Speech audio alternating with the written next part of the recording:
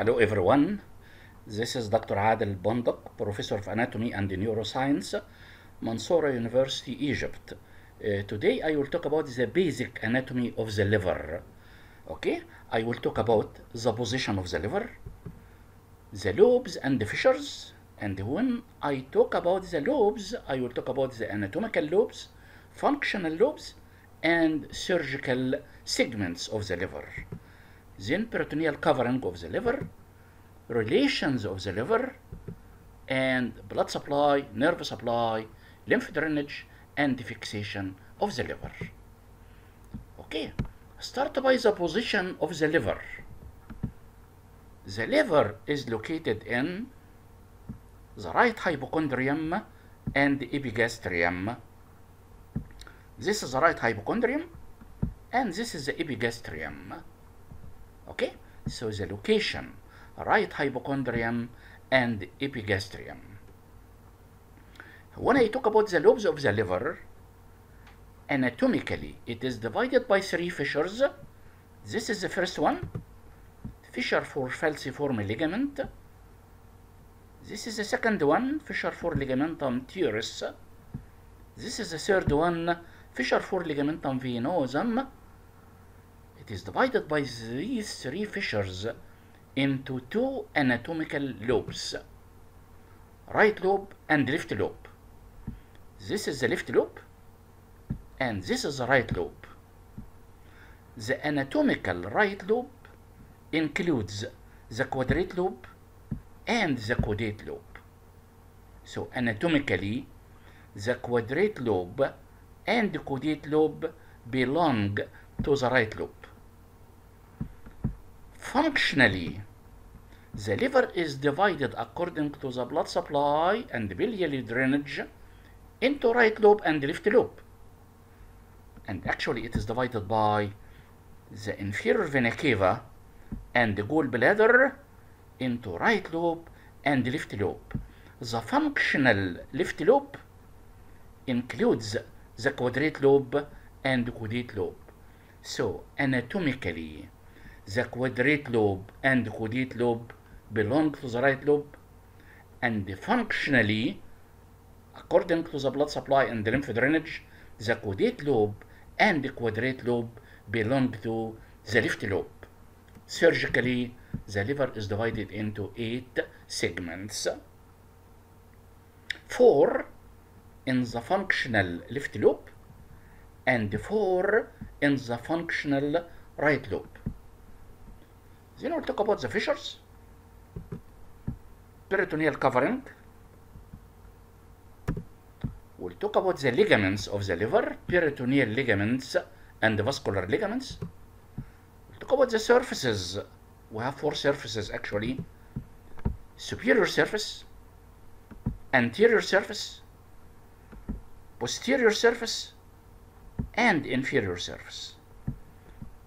Then we'll talk about the blood supply, blood entering the liver and the blood leaving the liver, nerve supply, lymph drainage, and fixation of the liver. Talk about the fissures, fossae, anatomical lobes. Fissures. This is the first one. Okay, fissure for falciform ligament on the anterior surface of the liver. Fissure for ligamentum teres on the inferior surface. Fissure for ligamentum venosum on the posterior surface.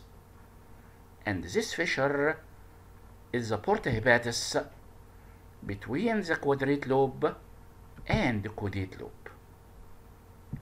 We have two fossae. Fossa for the gallbladder on the inferior surface and the fossa for the inferior vena cava on the posterior surface. The liver is divided anatomically into two lobes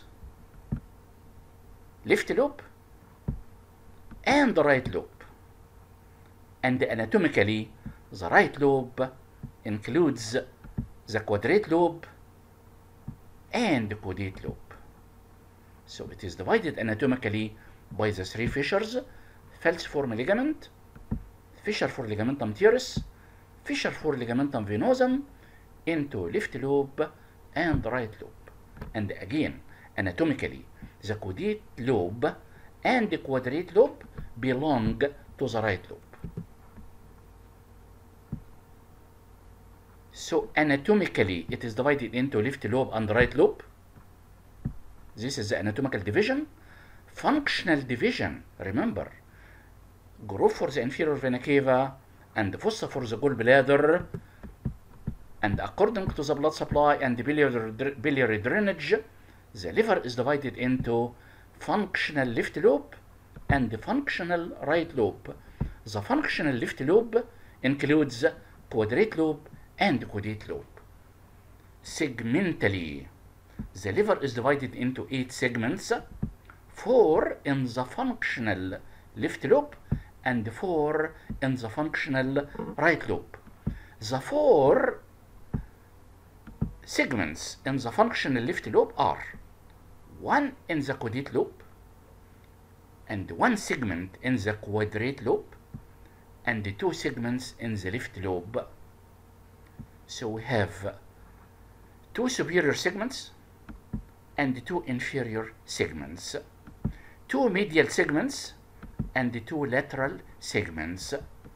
The medial superior is the caudate lobe, the medial inferior is the quadrate lobe, the lateral superior and the lateral inferior are in the anatomical left lobe.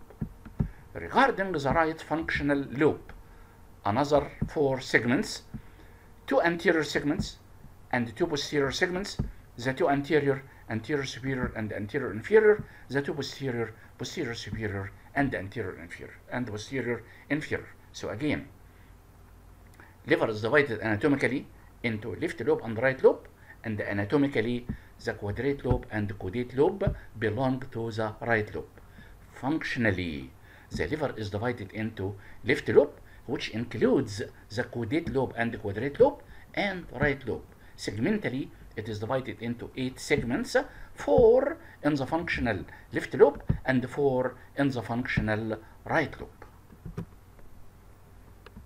Regarding the peritoneal covering, the liver is completely covered with peritoneum except the seven bare areas. And the seven bare areas, the areas not covered with peritoneum are first one, bare area of the liver on the, on the posterior surface, fossa for the gallbladder, groove for the inferior vena cava, and the porta hepatis. The other three bare areas are the sites of the attachments of the ligaments. So here, site of attachment of the falciform ligament, site of attachment of ligamentum teres, and the site of attachment of ligamentum venosum. So the liver is completely covered with peritoneum except seven bare areas. The four main bare areas are bare area on the posterior surface, groove for the gallbladder or fossa for the gallbladder, groove or fossa for the inferior vena cava, and the porta hepatis. Besides, fissure for ligamentum, fissure for falciform ligament, fissure for ligamentum teres, and fissure for ligamentum venosum. Regarding so regarding the liver ligaments of the liver, we have two types of ligaments: peritoneal ligaments and the vascular ligaments. Peritoneal ligaments are the first one is the lesser omentum. Lesser omentum connects the liver with the stomach, and the lesser omentum is attached to the margin or to the lips of the uh, fissure for ligamentum venosum and to the porta hepatis. So this is the site of attachment of the lesser omentum. Second one, falciform ligament connecting the liver to the anterior abdominal wall and the diaphragm. Then coronary ligaments, coronary ligament connecting the liver with the diaphragm. This coronary ligament has anterior layer and posterior layer. The two layers meet on the left side to form left triangular ligament this one left triangular ligament and meet on the right side to form the right triangular ligament so the peritoneal ligaments are lesser omentum connecting the liver to the stomach falciform ligament connecting the liver to the anterior abdominal wall and the diaphragm coronary ligament connecting the liver to the diaphragm and then left triangular ligament and right triangular ligament. Regarding the vascular ligaments, we have two, ligamentum teres and ligamentum venosum. Regarding ligamentum teres, it is the obliterated left umbilical vein. Regarding ligamentum venosum, it is the obliterated ductus venosus. Okay, so ligamentum venosum is the obliterated ductus venosus. Ligamentum teres is the obliterated left umbilical vein. This is ductus venosus. The ligamentum teres connects the liver or connects the umbilicus with the left branch of the portal vein. The ligamentum venosum connects the left branch of the portal vein with the inferior vena cava. So the vascular ligaments, ligamentum teres, obliterated left umbilical vein, ligamentum venosum, obliterated ductus venosus. Ligamentum teres connects the umbilicus with the left branch of the portal vein. Ligamentum venosum connects the left branch of the portal vein with the inferior vena cava.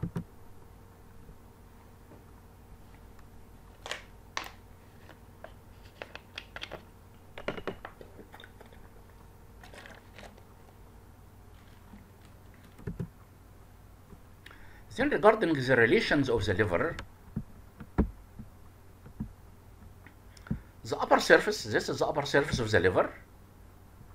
Of course, it is related to the diaphragm, and this diaphragm separates the liver from the thoracic viscera, heart and pericardium in the middle, lung and pleura on each side.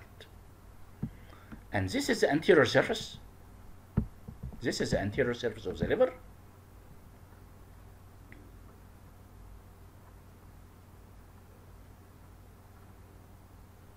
Okay, this anterior surface is related to three structures. This area is related to the anterior abdominal wall, and this is the costal margin, and above the costal margin, diaphragm.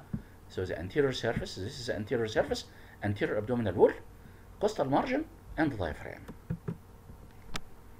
Then we'll talk about the posterior surface. This is the posterior surface.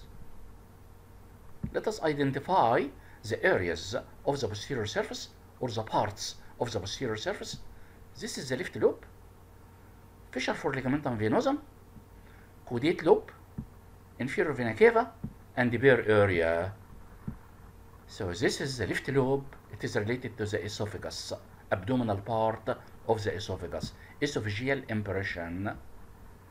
And this one, fissure for ligamentum venosum, it contains ligamentum venosum, it gives the attachment to the lesser omentum and this ligamentum venosum is the obliterated ductus venosus. It connects the left branch of the portal vein with the inferior vena cava. Then this is the left lobe uh, caudate lobe, sorry.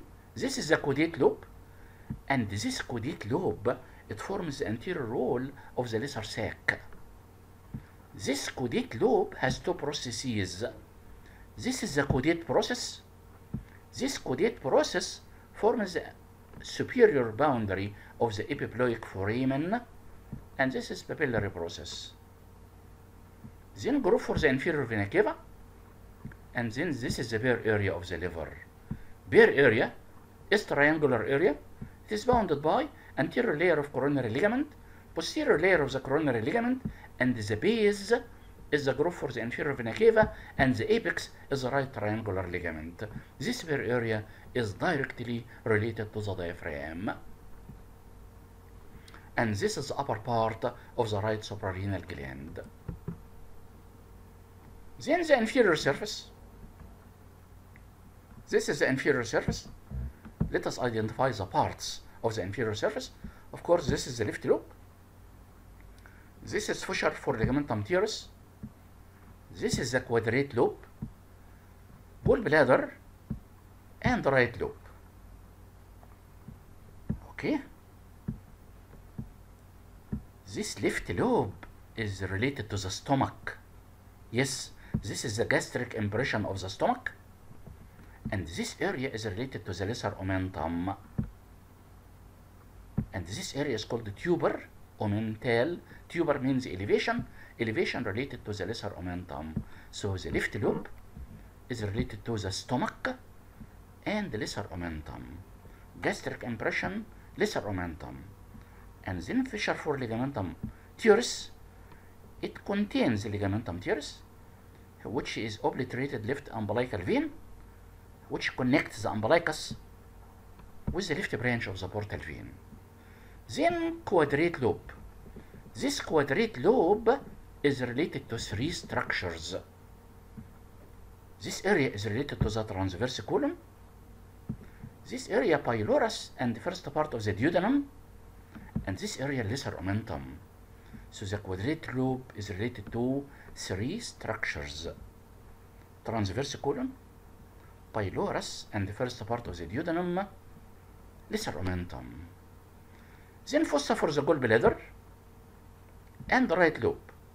Of course, fossa for the gallbladder is related to the gallbladder and the gallbladder is fixed to the liver by the peritoneum and the small veins and the loose irregular connective tissue. Then the right lobe, this is the right lobe, this area is related to the upper part of second part of the duodenum, so this is the duodenal impression related to the upper part of second part of the duodenum. This is colic impression, right colic flexure. This is renal impression related to the right kidney. And this area is related to the lower part of the right suprarenal gland. Then we'll talk about the blood supply, nerve supply, and lymph drainage of the liver. Regarding the blood supply, the liver has two sources of blood. It has double blood supply. So in and out. In we have hepatic artery and portal vein. Hepatic artery forms 30% of blood and portal vein forms 70% of blood. The difference between the two is that the hepatic artery it carries oxygenated blood to the liver and the portal vein carries nutrient material to the liver for digestion. Uh, uh, sorry, it carries products of digestion for metabolism.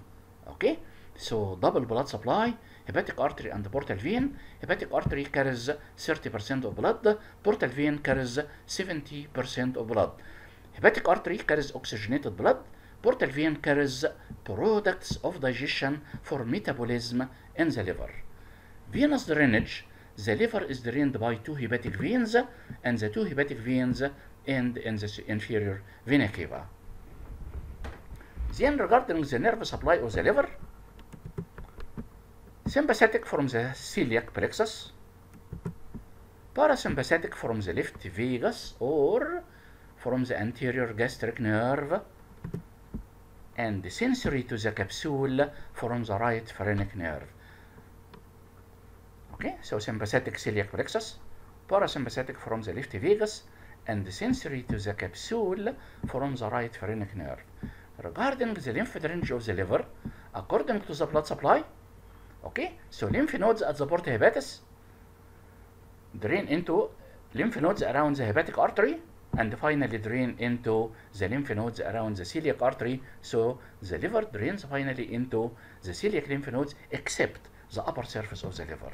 Upper surface of the liver drain into the mediastinal lymph nodes. And finally, fixation of the liver.